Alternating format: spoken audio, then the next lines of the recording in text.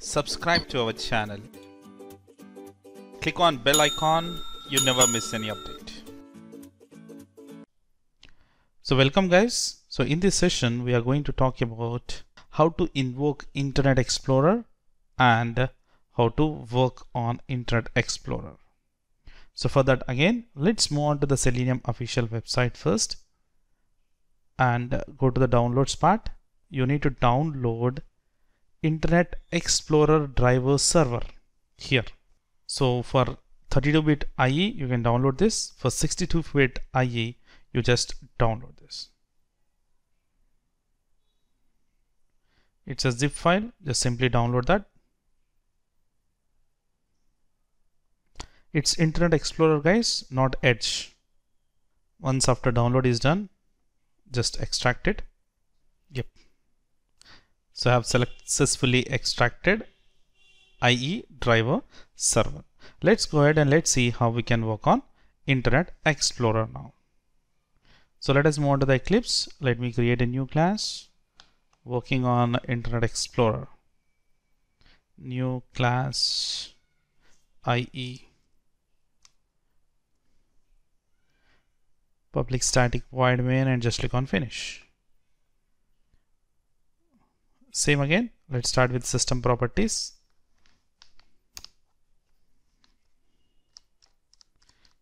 System dot set property and the key is WebDriver dot ie dot driver and the value is path.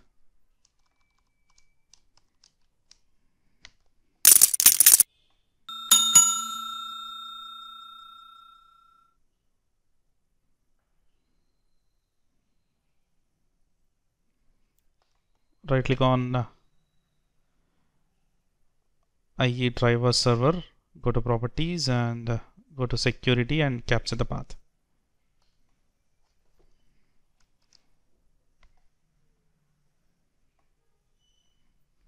That's it. Next.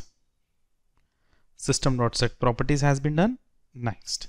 Creating a object. Web driver. Driver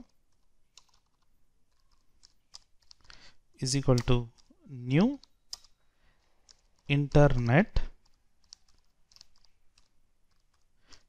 explorer driver this is a class which is used to work on Internet Explorer. So Internet Explorer driver successfully import that package and even import the package of WebDriver 2. That's it. Now let me write driver dot get get some website http mm, any website www dot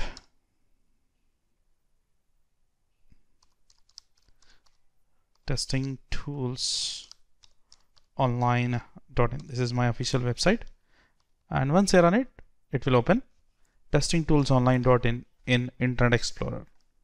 Right? Yes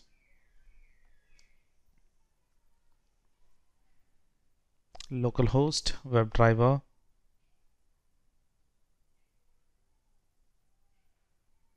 waiting for testing tools online.in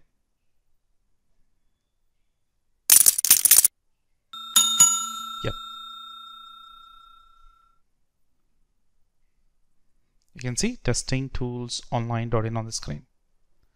That's it. That's it. If by chance if by any chance if a test is failed don't worry just go to internet explorer.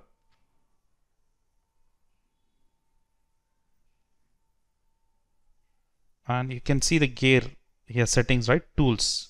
To the right side extreme right of a screen you can see a tools. And go to internet options. Go to securities and uncheck this box. If enable production mode is checked in you just uncheck that. If it is checked in uncheck it. And same for the local and same for the trusted sites also. If this is checked in just check it off. That's it. And apply. Okay. You run the test then definitely it will work. By chance if it is not working then this is the solution for it. Next this is how we can work on Internet Explorer. If you want to work on Safari it's a bit different. And it's very much easy too. Actually in Safari there is no need to download any driver. That's true. Let's move on to the Selenium official website and check it. What's community is saying about that? Selenium website on the screen. Safari driver. It's deprecated means there is no we are not using it anymore so Selenium now requires manual installation of ex extension. Priority automation means we need to add this add-in to the Safari browser. Just go ahead and download this driver and manually associate that to your Safari driver. Clear? Yep. And that's it. That's all. And in the script whenever you're trying to write for the script there is no need to write either system.set properties. No need to write this.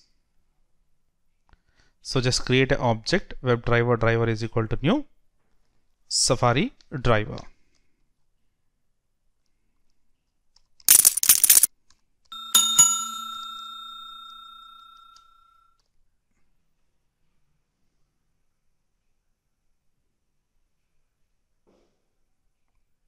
That's it. Safari driver, S is uppercase and D is uppercase. You just run the test, it will work. So anyways, it will not run in my machine because I don't have Safari on my Windows machine. Clear? If it is Mac, there is no need to create system.set properties. Why? Because the driver is directly given to the browser as an add-in. Clear? Yes. Now we have now we have went through how to work on a different browsers.